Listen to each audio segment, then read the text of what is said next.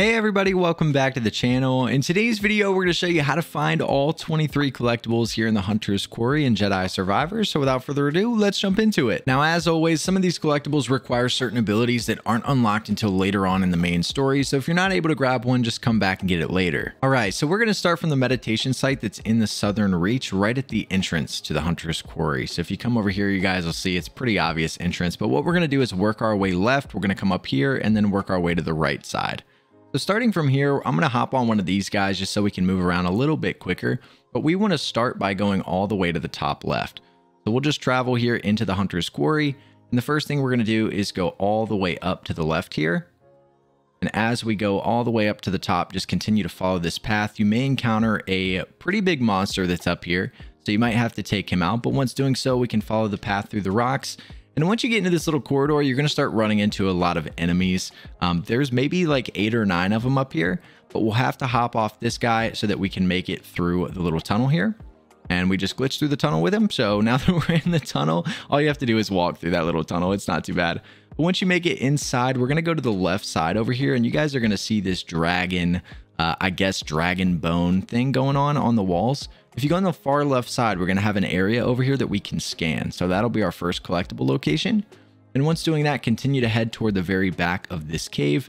And once you make it to the back, we're going to have a chest, which is going to be our second collectible location. And once you've grabbed that chest, we're just going to turn around and head back outside the cave. We're back at the entrance over here. We're going to work our way back down the path. And once we get out, we're going to take a right and we're going to be able to jump up onto this next level. So if you come over here and jump, we'll get up on this platform we're going to run over here under this cool uh, rock formation, and you're going to have a pretty big boss up here to take out.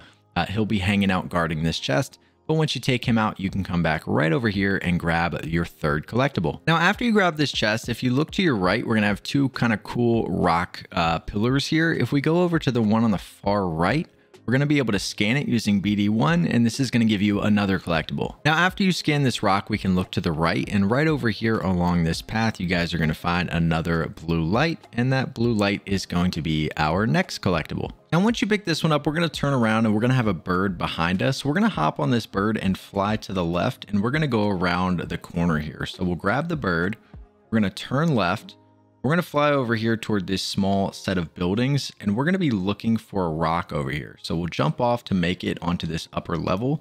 And you guys can see the rock over here. It's kind of in front of this giant yellow structure. But we're going to have a rock and right here near this rock, we're going to have a seed pod. So you guys can see it right next to me. This is what you should use as your landmark, but right over here is a bush that we can take out and get our next collectible. Now, once you pick up this seed pod, we're going to head into the building in front of us. Now, there's two ways in. If you've already completed the puzzle, you can go in right here. If you haven't, you can work your way up to the top and use force lift to open the door, but it's really quick. They both lead to the exact same spot. But we want to go inside. We're going to get three collectibles in here. The first thing we're going to do is run all the way back to the start of the laser. So if we go right back over here to where the laser is, uh, we're going to start here. Now, if you look over here in this room, we've got a lot of those little blue dots that are going to get in the way, and we've got some collectibles in there we want to grab. So the first thing we're going to do is grab this ball, and we're going to throw it in this room. So once you get this ball, throw it over here into this one. And once you do that, that's going to clear out all the little blue dots that are in here and that's going to allow you to come right back over here and scan this and pick up this collectible. Now again, I've already completed this puzzle, so when you come in here for the first time, the ball might already be in here and you can just do vice versa. Just pick it up, throw it in there, and that'll clear out all the little blue dots flying around. Now after you grab this one, if you turn around, you're going to see this little hallway back here with another collectible. Now you can try jumping and dashing, it most likely won't work, but once you get back there near it, all these little blue dots will get off of you. So you guys can see, I try to dash, it doesn't let me, but once you get back here, they get off of you and then you can interact and pick up this collectible. Now, once you've picked up this one, we're to head back over to this little purple ball thing and we're to pick it up and we're to throw it back to where we originally had it. So if you never had it up there, we're to put it back in this one, just so you guys know you can run around with this thing and it's, it's what removes all the little blue dots. So you're safe as long as you're holding this thing. We're to put it back in here just for the fun of it. And then we're to go right back over here to where the laser is, over to this platform. And once you make it to this platform, you guys are going to see we have another little hallway with another collectible in the back. To get back there, we want to double jump and dash. So we'll double jump here, dash your way across, you'll get behind it, and you'll be able to pick up this collectible here. Now, once you're done grabbing all the collectibles in this little cave, we can exit. And once doing so, we're going to turn right and go back here around the back side. And what we're going to do is go into this little building that's back here. Now you're not going to be able to get in if you haven't been in already. So the way that we're going to do that is we're going to jump up over here on the right. And once you get up over here on this ledge, there's going to be a spot to wall run and we're going to be able to grab onto the rocks over there. So we'll wall run right here. We can double jump across and you'll grab on. We can then move left, jump across here, continue to move left, and then we'll jump onto these vines right here. We'll go all the way around. You can go up if you don't feel comfortable jumping across. And once you get over here, you can just drop down. And this is going to be where we're going to get into the building. So once we come over here, you'll see a little opening inside. We're just going to walk in there and we'll drop down in. Now, once you jump down, the first thing you want to do is turn to your right and we're going to have something that we can scan right here. This is going to be your first collectible in here.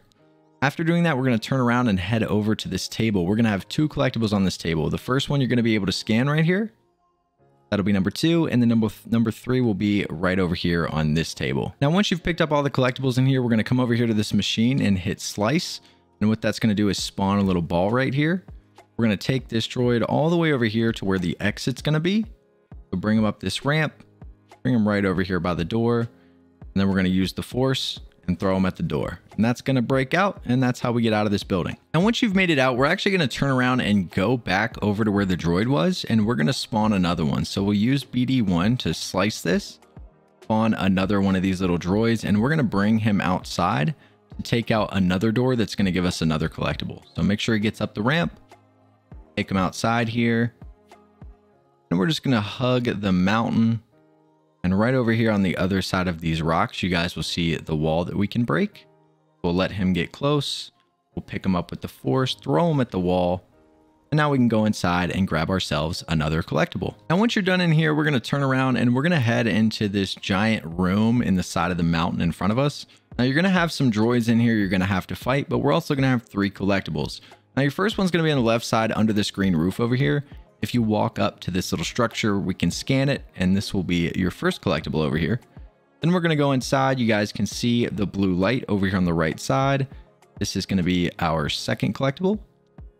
And then your third collectible is going to be a chest that's located in the very back. It'll be really hard to miss, but right here is where you get your third one. Now, after you've opened this chest, we're going to turn around and head back outside and we're going to go get ourselves two seed pods. So essentially what you want to do is just follow this path past these random structures. And once you get over here, we're just going to jump up on this ledge where you can kind of see the rock goes up. We're to have two plants up here we want to take out. Just look for the green orbs. The first one will be right here on your left. You can take that one out. And the other one's going to be a little bit further over this way. So again, just look for the green orbs. You'll find them pretty easily. I believe it's right here. So yeah, this is going to be your second one and that's how you get these two seed pods. Now, after you grab your seed pods, we want to go up over here on top of this giant yellow structure on the mountain. Now, the way to get up there is we're going to have to head all the way back over this direction, and we're going to go all the way around to where we can actually jump up. And it's going to allow us to kind of go back into the region and be able to get up there and get two of our collectibles. So if we run under this rock formation, you'll get the cue to zip line up to this, uh, this vine. And once you get up here, we can climb up to the top now there's a collectible over there, but that's for a different region. And once you get up here, we're going to come over here to these things that we can jump to. So we'll jump across and we're just going to jump our way across until we can get up top. So we'll jump over to this one, come over to the third one here. We'll hit the fourth one and then you're going to want to hit the wall run and that's going to get us up there. So we can jump, hit the wall, we'll double jump, dodge, and now we're up here.